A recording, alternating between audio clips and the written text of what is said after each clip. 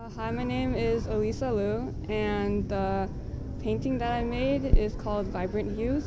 It's an oil painting on canvas. I was inspired by other artists. I look up to people who can tell a story or make people feel something. And I chose to use this bird, which is called the European bee eater, because of its rich colors and the character of this specific bird to help me express the mood and feelings that I wanted to bring across in my painting. My art teacher actually told me about this competition and encouraged me to submit my artwork, and I thought it was a great opportunity, so I did.